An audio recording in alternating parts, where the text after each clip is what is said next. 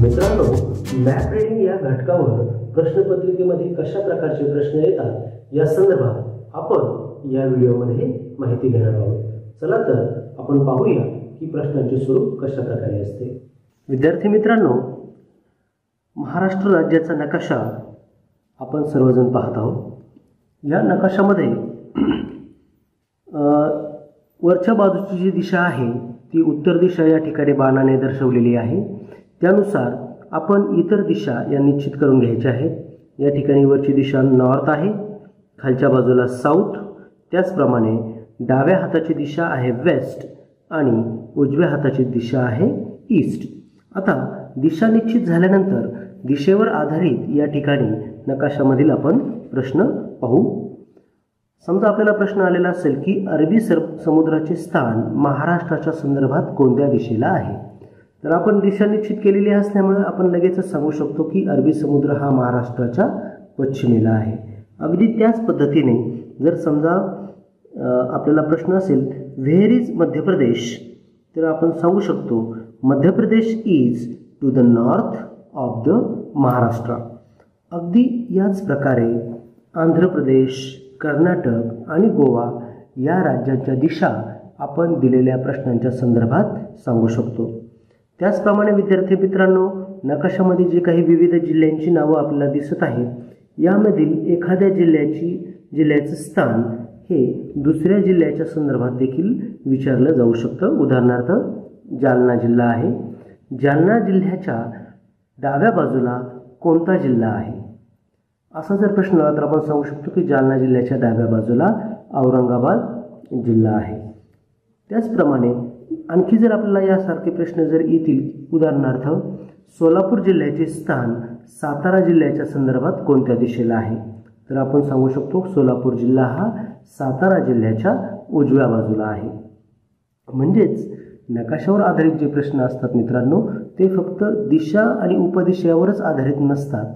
तर डावा उजवा वर खाली या संदर्भात देखील प्रश्नपत्रिकेमध्ये प्रश्न हे विचारलेले असतात. आपण परीक्षेत या संदर्भामध्ये आणखी कशा प्रकारचे प्रश्न असतात त्याविषयी थोडीशी एक झलक पाहूया. आपण या ठिकाणी पाहू शकता एक छोटीशी नकाशाची आकृती या ठिकाणी दिलेली आहे. आणि त्यामध्ये काही प्रश्न विचारले आहे प्रश्न पाहूया आपण. Mohan wants to go to the market he will have to आता आकृतीमध्ये आपण पाहू शकता मोहनची दिशा कुठे आहे? आता या ठिकाणी कुठल्याही प्रकारची दिशा दिलेली नाही आहे परंतु नकाशा असेल तर आपण समजून घ्यायचं आहे की वरच्या बाजूला डायरेक्ट केलेली दिशा ही नेहमी उत्तर दिशा असते.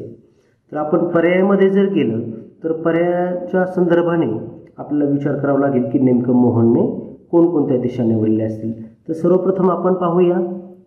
मोहनला मार्केटमध्ये जायचं आहे मोहन सुरुवातीला काय होईल? स्ट्रेट जाईल.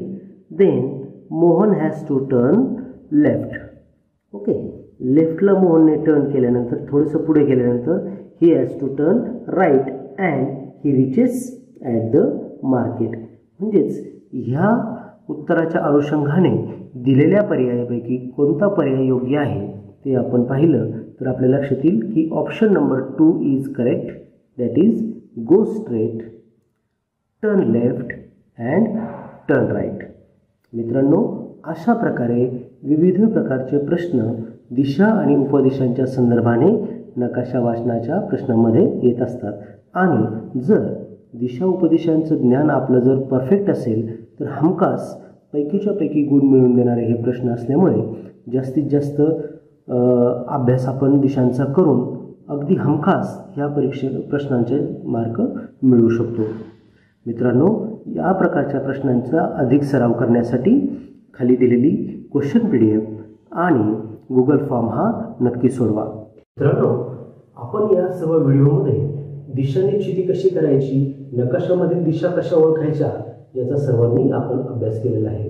परंतु सध्याच्या काळामध्ये दिशा निश्चित करण्यासाठी किंवा पृथ्वीवरील कोणत्याही ठिकाणचं स्थान निश्चित करण्यासाठी जी पी एस अर्थात ग्लोबल पोझिशनिंग सिस्टीम या तंत्रज्ञानाचा वापर सध्या केला जातो.